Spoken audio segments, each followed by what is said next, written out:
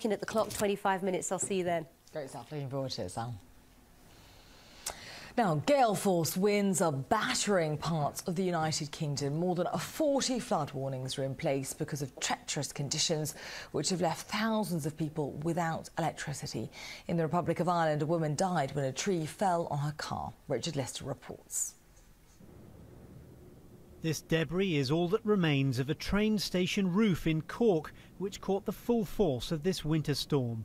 Three people were injured here as the winds whipped in from the Atlantic at speeds of up to 90 miles an hour. The storm swept up through Ireland and into the UK as far as the Western Isles of Scotland.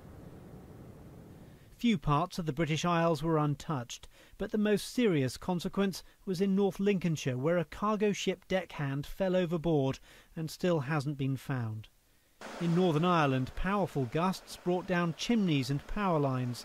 At one point, 7,000 homes had no electricity, though engineers have now restored power to most homes. Thousands in Cumbria were also cut off. In southwest England, the problem was flooding, and people across the region are being warned to take immediate action. This was Bristol. But Cardiff looked much the same, and in parts of Wales it was an anxious night, with sandbags at doorways and the fire service in the street pumping out standing water. And the Met Office says more weather like this is on the way. Richard Lister, BBC News.